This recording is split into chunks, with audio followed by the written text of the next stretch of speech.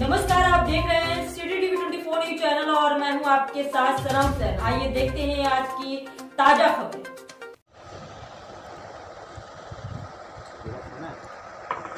खड़े टैंकर में जा बढ़ी बाइक बाइक सवार की हुई दर्दनाक मौत। खागा के अंतर्गत सुजानीपुर चौराहे की खास report, Indrajeet Maurya Prayagraj Mandal crime bureau chief के साथ अवध राम सिंह की खास रिपोर्ट।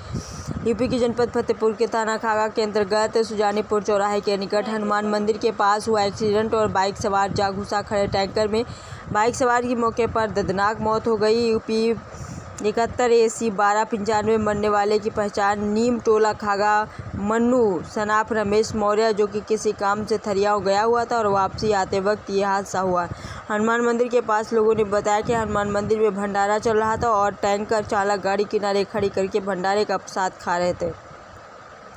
तभी अचानक युवक की बाइक खड़े टैंकर से टकरा गई, जिससे ये हादसा हुआ। हादसे की खबर पाकर तत्काल कोतवाली पुलिस मौके पर पहुँची और एंबुलेंस से युवक को लेकर अस्पताल गई, जहाँ डॉक्टरों ने युवक को मृत घोषित कर दिया।